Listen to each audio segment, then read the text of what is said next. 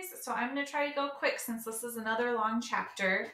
Last time we read, uh, Michael and the gang were in the middle of trying to escape the academy, um, and they are in the process of using their powers to cripple the guards so that they can get out.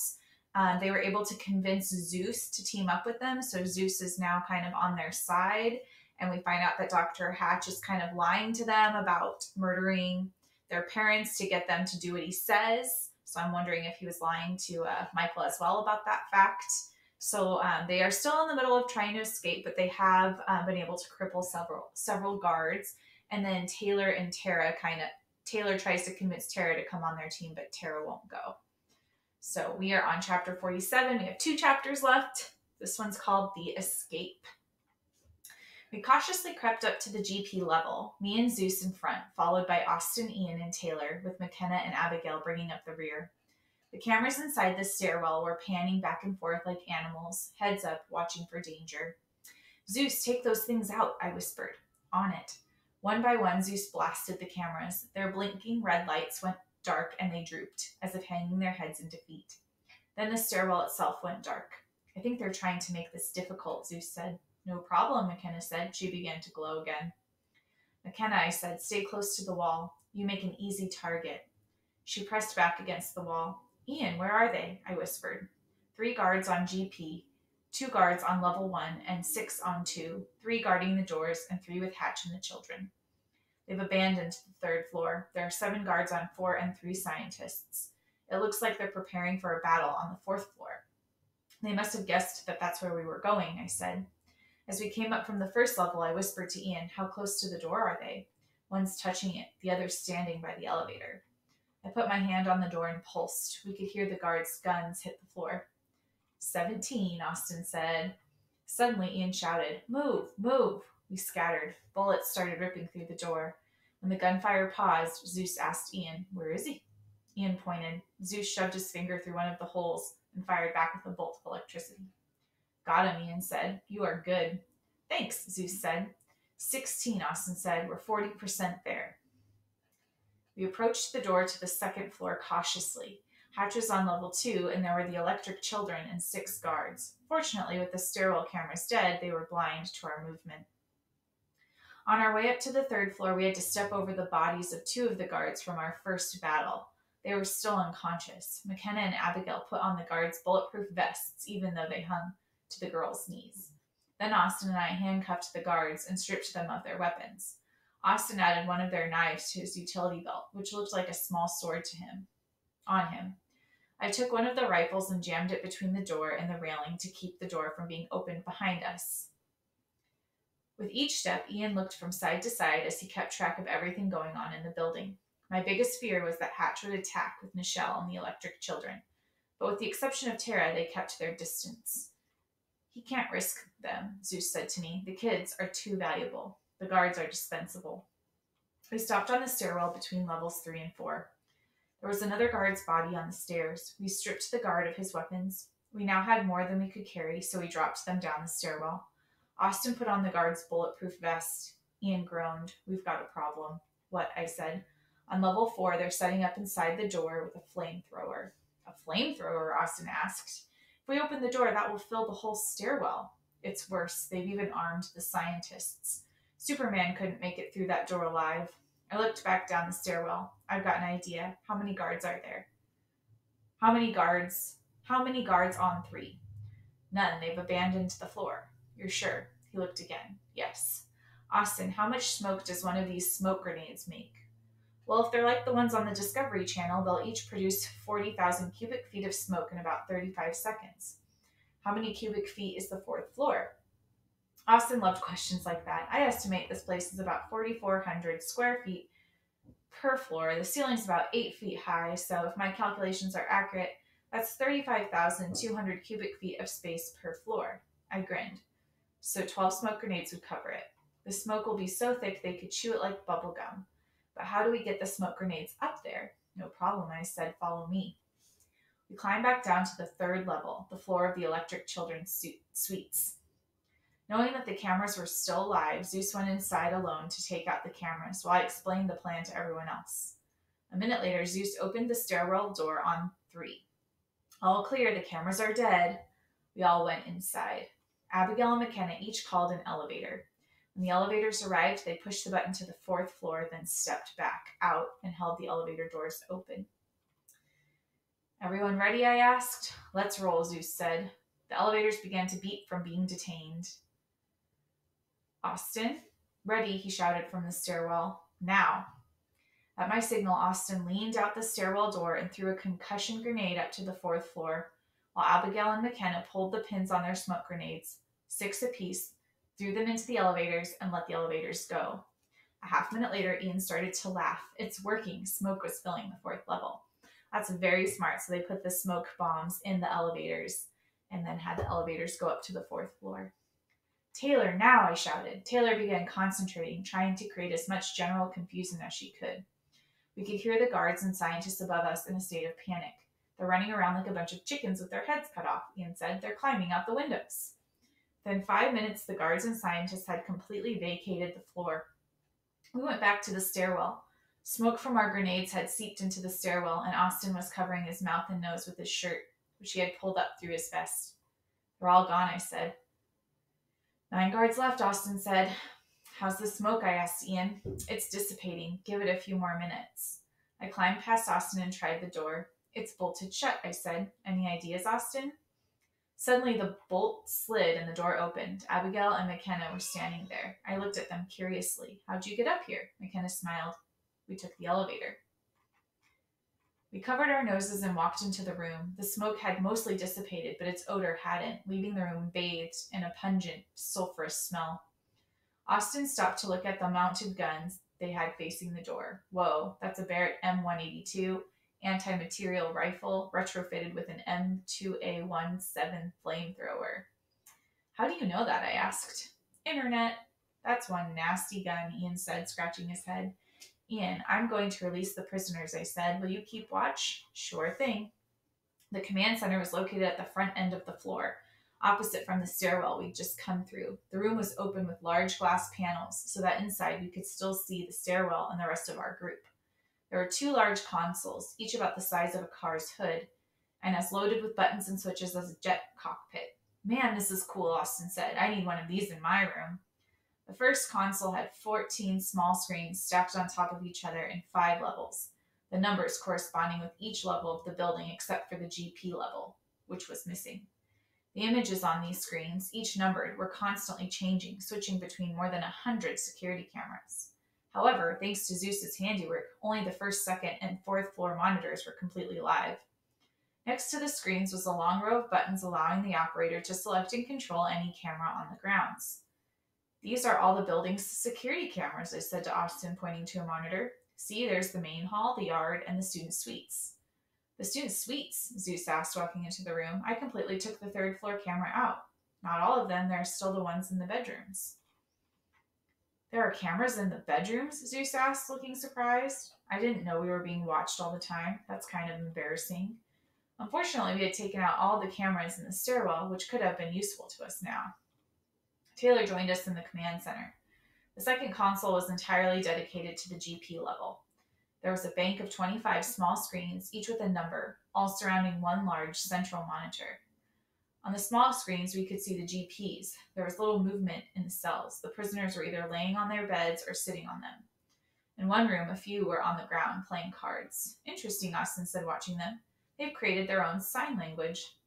All but two of the cells were full and most had more than one occupant, some as many as four.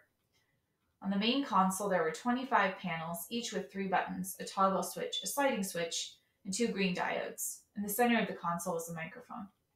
Ostin, help me figure this out, I said. Ostin walked up behind me and looked over the console. Each screen and panel corresponds with a cell, and if you push the red button, he reached over and pushed the red button on cell 5, and the video image of two GPs Playing cards on the small screen appeared on the central monitor. You can enlarge the view of a single cell. You push the button again and the image zoomed in still more. He did it until he could actually read the cards one of the prisoners held in his hand. That's one way to cheat at cards, Zeus said. And this toggle switch moves the camera. Ostin pushed the button to the right and the camera panned right. Man, I wish I had one of these. He looked at the buttons on the panels below, the red one.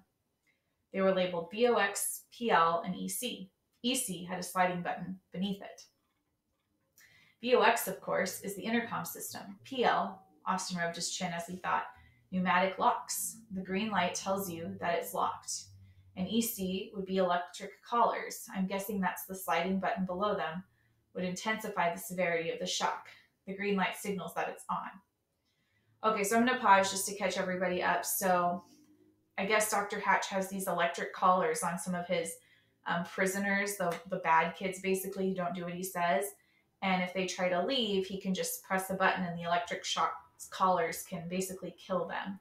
So I think they're trying to go to this like main room on floor four to disable these electric shock collars. And they couldn't get to the fourth floor originally because that's where Dr. Hatch was with all the guards.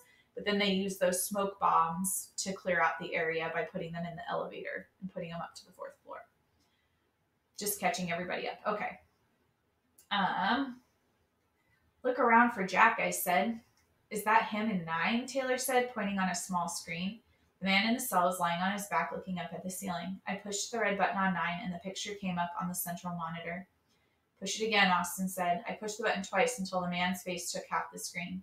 That's him, Taylor said. I didn't recognize him with the beard, I said. Where's Wade? Ostin asked. They're not together? I honestly didn't know if Wade was still alive. I hadn't had the chance to tell them anything about what had happened to us. Keep looking, I said. There he is, Ostin said, in 11. I pushed the button on 11 and the image filled the screen. Wade wasn't alone. There was another man in the same room. He's almost across the hall from Jack, I said. I pushed the button on 9 again and the picture of Jack came back up on the center screen. I pushed the Vox button on the 9 panel. Jack. He suddenly looked up toward the corner of the room. Jack, can you hear me? He looked around as if trying to figure out where the voice had come from. Jack, it's me, Michael. Are you okay? This time he nodded. I can't hear anything, I said to Ostin. He's not speaking. He still has the electric collar on. Right. I looked down at the panel. Which way should I push it to deactivate it? Try pushing it to the right, Taylor said. I started to slide the switch to the right. Jack immediately grabbed his collar. Stop, stop, Ostin said. Sorry, my bad, Taylor said in the microphone. Rules out the right, I said. Rules out the right, I said. I slid the switch to the left. The green light on the panel went off. I think you did it, Ostin said. Jack, I said into the microphone to the microphone, I think we've disarmed your collar. Try speaking. He looked nervous. Michael, he said in a raspy voice. A look of relief came across his face. Thanks. Where are you? We've escaped. We've taken control of the main command center. We're going to unlock all the doors in the prison. But There are still three guards on your floor. We want you to get Wade and help us. I don't know where Wade is, Jack said. He's close. He's in cell 11. That's directly across the hall, one cell to the right. I'm going to unlock your door, but don't open it until I tell you to. Taylor, where are the guards? There's one coming down the hall towards nine. Hold tight, Jack. Ostin, on my word, unlock Wade's cell. Got it.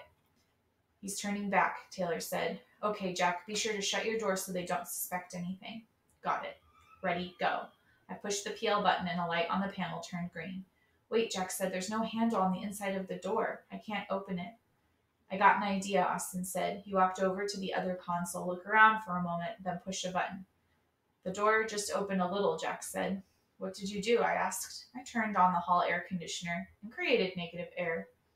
That was smart, Taylor said, cutting him off. Thanks. Okay, where's the guard, Taylor? Still on the other end of the hall. Ostin opened cell 11. Got it. Okay, Jack, go fast. Jack pried open his cell door, stepped out into the corridor, pulled his door shut, then pushed in the door at cell 11. I hit the red button on 11 and the image took full screen. We watched the reunion. Wade stood as Jack entered, and the other inmate just stared anxiously. Ostin shut their, shut their collars off to the left. Got it done. I pushed the Vox. Jack shut the door. We turned off the collars, but keep your voices down. Wade looked around, afraid to speak. It's okay, you can doc- talk, Jack said. Who is that? Wade asked. It's Michael, Jack said. They've escaped. He looked at the camera. You're the man, Michael. Can you take your collars off? Yeah, they're just buckled like a seatbelt. Are you sure they they're turned off? Because the collars are programmed to go off on full if we try to take them off. They're off, Ostin said then turned to me and shrugged. I think, he said to me. The three of them quickly removed their collars. Guys, here comes the guard, Taylor said. Ostin, can you figure out how to shut off the lights on the floor? He went over to the other console. Just a minute. He quickly scanned the board. I think this is it. Jack, the guard's coming. When he passes your cell, we're going to shut off the lights. Can you and Wade jump him and drag him back into your cell? My pleasure. Wade, you hit low. I'll take his arms. Count me in, the other inmate said. We have night vision here, I said, so wait for our command. Got it. He's nearing the cell, Taylor said. Okay, he's past the cell. Ostin, now, I said. The GP level screens all went dark. Suddenly, the images on them changed from black to pale green, ghost like images. I whispered, Jack, can you see anything? No. The guard is three feet to your right, directly in front of your old cell. He's facing cell nine. Open your door. He opened the door. The guard must have heard my voice and started to turn back. Now, the three of them blindly charged the guard. Wade hit first, wrapping his arms around the guard's legs, while Jack knocked him over. The other inmate grabbed the guard around the neck. The guard was flailing around, but had no idea who or what had hit him. Truthfully, the attack didn't look a whole lot different than back when Jack and his posse tried to pants me. The three of them dragged the guard back into their cell. Eight guards, Ostin said. Lights on, I said. The lights came back on. The two remaining guards just looked around, confused by what had happened. Shut the door, I said. Wade pushed the door shut. The third inmate still had the guard by the throat, and Jack pinned his arms behind his back as Wade handcuffed him. Then Jack pulled off the guard's weapons, taking a rifle, taser, and concussion grenade. He handed a pistol and a smoke grenade to Wade and the truncheon and mace to the other inmate. The inmate immediately sprayed the mace in the guard's face. Feels good, don't it? The guard gasped and sputtered. Don't kill me. Keep your mouth shut, Jack said to the guard. You call for help and it will be the last thing you do. Put a collar on him, Ostin said in the microphone, and we'll reactivate it at full. Gladly, Jack said. He fastened one of the collars around the guards' necks. I slid the switch. Reactivated, I said. Welcome to the other side, Jack said. He turned to the other inmate and put out his hand. What's your name? Salvatore. You did well, Salvatore. Grazie. Zeus said, If you can manually control the elevators, I can take out the front guard while Jack takes out the other guard. Then we can start bringing the prisoners up here, bypassing the guards on two. Brilliant, except you better have Ian go with you so you don't walk into an ambush. Ostin, you're in charge of the elevators. Abigail and McKenna keep watch on the monitors. What about me? Taylor asked. Stay close to me, I said. I'm going to need your help. Got back on the speaker. Jack, there are only eight guards left in Hatch and the six children. We're going to start transporting all of the prisoners up to the fourth floor and arming them. We've got a whole weapons depot up there. What will happen if I unlock all the doors? They're pretty keyed up, he said. Prison riot could turn ugly. That's what I was afraid of. There's a few guys who could really help us, though. How many? Half dozen? Okay, this is the plan. There are two guards still on your floor, one in each corridor. Ian and Zeus are going to come down the front elevator and take out the first guard. There's a guard at the end of the corridor to your left. You're going to have to keep him from helping out the other guard. Jack took out his grenade. No problem. When you've secured the floor, tell us where your friends are. Give the weapons you, you captured to one, the ones you trust, and then start bringing them up here to six. Then start bringing them up here six at a time. I need you and Wade up here with us. Hatch may launch a counterattack up the stairwell. Got it. Zeus and Ian walked over to the elevator. We're ready. On it, Ostin said. He opened the elevator door. Level GL. I'm going to cut the lights again. Ian, when you get there, tell Zeus where to fire and stay away from the elevator door. The guard is still armed. He may just fire at the sound of the doors opening. Got it. They stepped into the elevator. Ostin shut the door and set them down. Then he again cut the lights on that level. We could see the guards on our screens freeze in their positions. Look, Abigail said, the stairwell door. Fire and sparks began shooting through the stairwell door. Someone's cutting their way in here, I said. It must be Bryan, McKenna said. He can do that? Taylor, I shouted. See what you can do to stop him. Taylor walked closer to the stairwell and focused her attention on the door. Nothing's happening. Ostin was still staring at his monitor. Zeus and Ian have reached ground level, he said. There was a bright flash of lightning on the screen. Seven guards, Ostin shouted. What's Ian doing? On the monitor, Ian looked frantic. He ran down the hall towards cell 11. Already a full line had been cut through the door. Michael, Taylor shouted, I can't stop them. Ostin, who's out there? I can't tell. Zeus shot out the cameras. I turned back to the console. Ostin lights up on GL. I push the master Vox. Jack, one of your guys, Ian, is about to come. One of our guys, Ian, is about to come around the corner behind you. Don't shoot him. Can you take the other guard out? Jack raised a hand. On it. Do it, Wade. Wade threw a smoke grenade down the end of the hall. The guard vanished behind a cloud of smoke. We've got you surrounded, man, Jack shouted. You're the only one left. Surrender your weapon now or we'll start shooting. The choking guard threw his gun out ahead of him. Don't shoot. I surrender. Get on your knees and put your hands behind your back, Jack turned back to Wade. Get a collar. Six guards left, Ostin shouted. Ian rounded the corner and pushed open the cell door. He was out of breath. Michael, can you hear me? I'm here, I said. He gasped out his warning. It's Bryan. He's cutting through the stairwell wall. We can see the sparks. Is he wearing a helmet? Yes. I looked at Taylor. Get away from there. You can't help. Just then, Zeus walked into the cell behind Ian, carrying the guards' weapons. What's going on? Michael, Ian said. Bryan's with Hatch and three guards, and he has Nichelle with him. They're coming for you. Oh man, it's getting really good. We only have one chapter left. All right. We'll hear the end of the story hopefully next time. Bye.